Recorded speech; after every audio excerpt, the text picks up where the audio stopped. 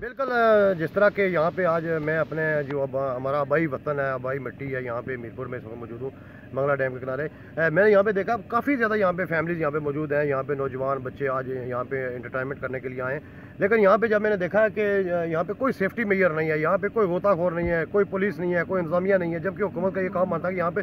سینکڑوں کی جانیں جو ہے نا پچھلے عرصے میں یہاں پہ ضائع ہو چکی ہیں، لوگ منگلہ ڈیم میں ڈوب کے مر چکے ہیں۔ لیکن حکومت کی ذمہ داری بنتی ہے، انتظامیہ کی ذمہ داری بنتی ہے کہ یہ آزاد کشمیر پاکستان کا ایک بہت بڑا اثاثہ ہے۔ اور یہاں پہ جو لوگ انٹرٹینمنٹ کرنے کے لیے آتے ہیں، یہاں پہ آتے ہیں ان کے لیے سیفٹی میئر کرنا چاہیے کرنا چاہیے انہیں۔ اب میں آپ کو یہاں پہ بتا دوں کہ جو برطانیہ میں یا جیسے اوورسیز میں جو لوگ ہو they are living in U K and around the world وہاں پہ مکمل سیفٹی ہوتی ہے۔ جو بھی جس طرح کے وہاں پہ جاتے ہیں بیچز پہ جاتے ہیں یا لیکس پہ جاتے ہیں یا ہاں، یہاں پہ پارٹس ہوتے ہیں، وہاں پہ جاتے ہیں، وہاں پہ مکمل سیفٹی میجرز ہوتے ہیں کیونکہ انسانیت جو ہے ہیومنٹی کم فاسٹ وہ انسانیت کو پہلے دیکھتے ہیں، اس کے ساتھ ساتھ وہ انٹرٹینمنٹ بھی کرتے ہیں، لیکن یہاں پہ میں نے دیکھا ہے کہ بالکل کوئی کچھ بھی یہاں پہ انتظامی امور کے ساتھ آپ دیکھ سکتے ہیں، یہاں پہ سیفٹی کے حوالے سے دیکھتے ہیں، انسانی جانوں کا یہاں پہ کسی قسم کی کوئی سیفٹی نہیں ہے، حکومت کو چاہیے اسپیشلی جو محکمہ سیاحت ہے، ان کو چاہیے کہ یہاں پہ غوطہ خور یہاں پہ لائیں، بورڈس ہوں تاکہ کسی قسم کا اگر کوئی جان جیسے لوگوں کو نہیں سمجھ ہوتا کہ ڈیم کی گہرائی کس جگہ پہ کتنی ہے وہ لوگ آگے چلے جاتے ہیں اور وہاں پہ ڈوب کے مر جاتے ہیں۔ پچھلے ہفتے میں بھی ایک بندے ایک بندے کی ڈیتھ ہو گئی۔ اس سے پچھلے ہفتے میں بھی ایک بندے کی ڈیتھ ہوئی۔ اس طرح یہاں پہ سینکڑوں جانیں جو ہے وہ ضائع ہو چکی ہیں۔